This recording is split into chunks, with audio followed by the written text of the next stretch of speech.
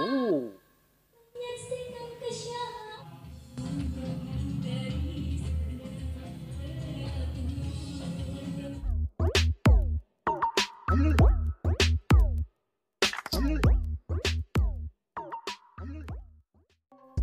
pemirsa, welcome back again to my channel. Jumpa lagi bersama saya Ujang. Halo, masih di reaction video vlog dan cover. Apa kabar kalian semua? Semoga kalian dalam keadaan sehat ya Pada kesempatan kali ini Ujang kembali untuk mereact lagi perform Reza di acara ulang tahun Bapak Suku Parani Di mana di sini Reza membawakan lagu dari Dato Siti Nurhaliza IPA Malaysia yang berjudul Nirmala. Wow. Si Reza coba-coba main-main dengan lagu ini pemirsa. Oke lagu ini sudah banyak sekali diakui kesulitannya ya oleh para penyanyi senior para musisi-musisi baik itu dari musisi Malaysia atau Indonesia bahkan Iyeth Bustami selaku penyanyi dangdut Melayu terbaik Indonesia pun mengakui kesulitan dari lagu ini ya. Tapi kita akan sama-sama melihat bagaimana Reza mengeksekusi lagu ini di acara ini. Tapi sebelum Ujang play seperti biasa buat kalian yang belum subscribe silahkan kalian subscribe saja agar kalian selalu mendapatkan updatean reaksi Reza dari Ujang Halo setiap harinya ya. Ini dia videonya. Oke, kita sambut Reza dengan Irwa nanti ajak tamu-tamu Iya. keluarga kita joget sama-sama ya Aku ini lagu joget soalnya. ya oke Nirmala dari Reza lagu ini memang mengajak sih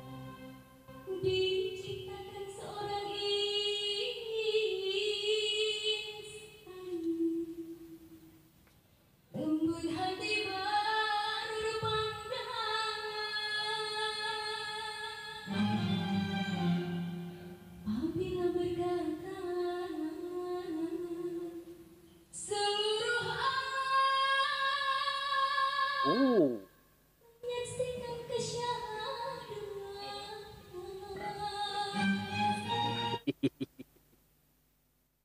Memang pemirsa ya si Reza ini bunglon dia ini ya bunglon dari Jene Ponto yang bisa suaranya ini berkamuflase gitu kan ketika dia menyanyikan lagu yang lain genre gitu kan. Di sini apa ya seperti suaranya ini dia berubah 80% gitu kan dari karakter Nika Ardilanya tapi suaranya tetap suara Nika Ardila dia ini memang memang warna vokalnya si Nika Ardila gitu kan. Tapi bagaimana dia apa ya menempatkan vokalnya ini di eh, genre Melayu gitu kan yang biasanya dia kan di genre slow rock gitu kan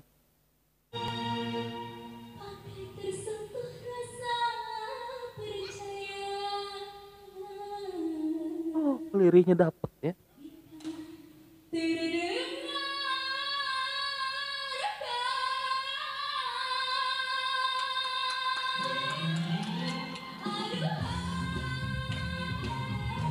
Wish, keren banget dong.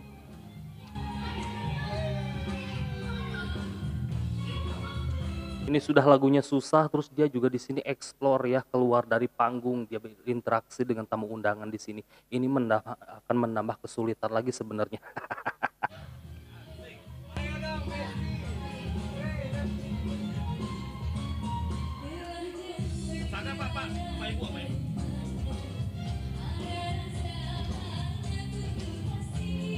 oke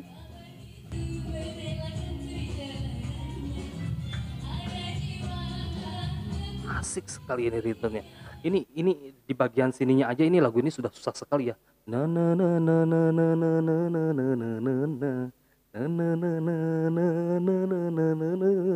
jadi liriknya tuh rapat sekali pemirsa ya di sini juga harus memiliki kontrol pernapasan yang oke sekali gitu kan kalau enggak itu udah ngos-ngosan kita udah keteteran dengan tempo-tempo musiknya itu ya.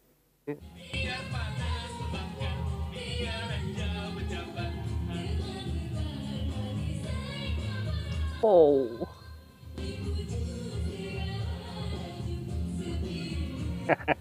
Bapak Paraninya asik sekali goyangnya.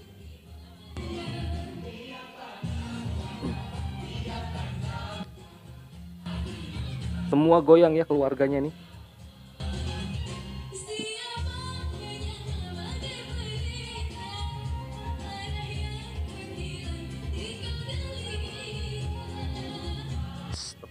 meskipun dia di sini gerak ya badannya tapi dia tetap kontrol vokalnya keren banget. Reza ini pemirsa di sini tetap dia tepat sekali ini sih tempo-temponya itu ya yang rapatnya itu bukan main ini.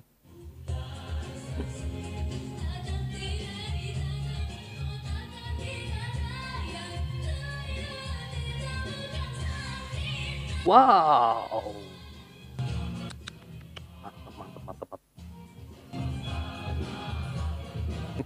Ini yang bikin heran tuh dia kayak bunglon dia nih.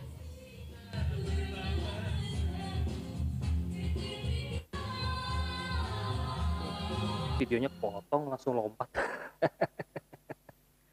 Wah, ini ini eh, apa ya?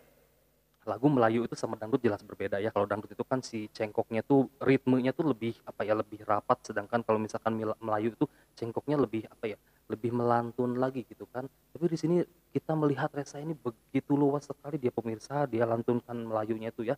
Memang dia kan multi genre sebenarnya ya si Resa ini. Makanya tidak akan sudah gak heran gitu kalau misalkan dia nyanyiin lagu Melayu. Karena dia di nyanyi nyanyi lagu-lagu dangdut saja dia tuh udah keren banget pemirsa suaranya dia tuh ya.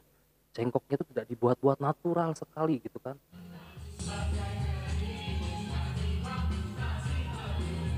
Oke kita akan sebentar lagi menuju ke part yang rumit susah ya bisa dibilang gitu.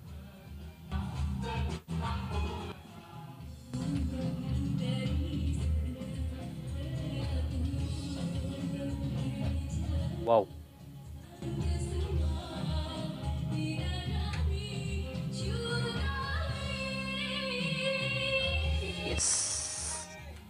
mantap sekali itu dia tarikannya.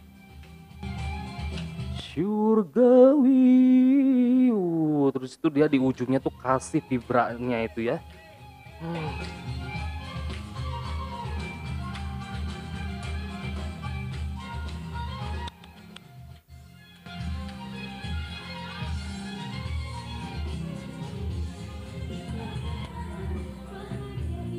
kenapa lompat-lompat videonya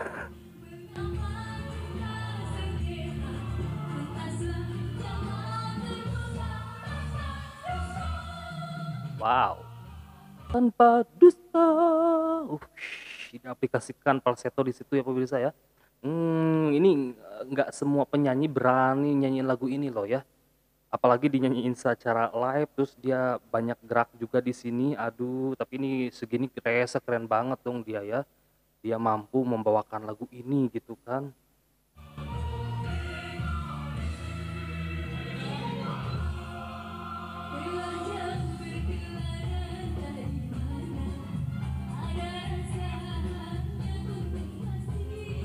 Oke.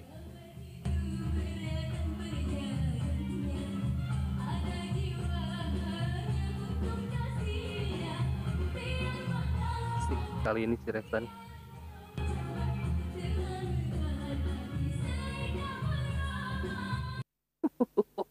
Napasnya kuat loh dia.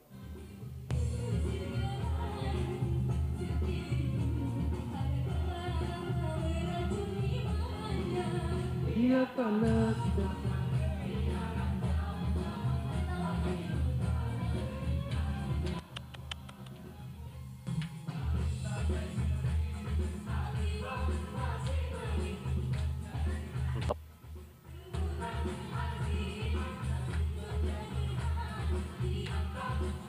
Wow.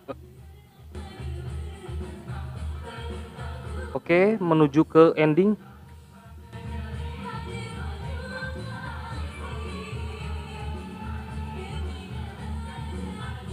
Tetap kontrol dia ya meski bergerak.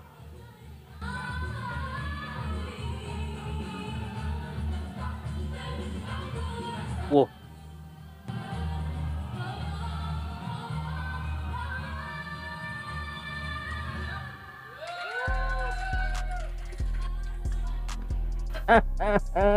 Gila dong pemirsa, dia akhirnya bisa dieksekusi lagu ini di sini. Meskipun ini ya, apa namanya, videonya lompat-lompat gak jelas barusan. Tapi secara keseluruhan sih Ujang sudah mendapatkan apa ya, eh, mendapatkan klimaksnya dari lagu ini Reza. Berhasil membawakan lagu ini dengan, dengan sangat baik ya. Karena ini lagu ini sudah seperti yang tadi Ujang bilang, lagu ini tuh susah gitu, apalagi dinyanyiin secara live seperti ini. Sama Rezanya di sini banyak gerak-gerak lagi interaksi dengan para tamu undangan atau keluarganya dari Bapak Suhu Parani ini ya ini kesulitannya bisa nambah-nambah jadinya ya karena liriknya udah rapat gitu kan. Reza Reza memang multi genre bener-bener nih Reza ini pemirsa. Aduh ini nih dia dia di postingan ini video yang ini yang baru seru Ujang play itu dia di situ eh, sematkan komentar ya.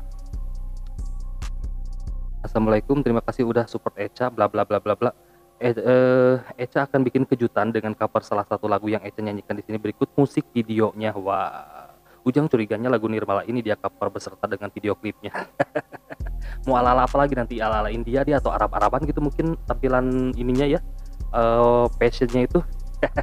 Dan Ujang harap tidak ada model lakinya nanti ya Oke pemirsa terima kasih kalian sudah menyempatkan menonton. Seperti biasa jika kalian punya pendapat lain silahkan di komen saja like share dan subscribe nya agar kalian selalu mendapatkan updatean reaksi reaksi dari Ujang kalau setiap harinya. Dan Ujang pamit undur diri sampai jumpa di episode selanjutnya